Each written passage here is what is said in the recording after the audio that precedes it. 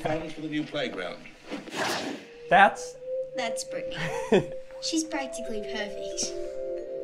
Perfect teeth, oh, I already lost. perfect nose, I also lost that one. perfect eyes. I have to hide my eyes, so I lost that one too. it's not looking good for me. Even her parents are perfect. That one too, I also lost. My uh, dad ain't perfect, but my mom is. So, half.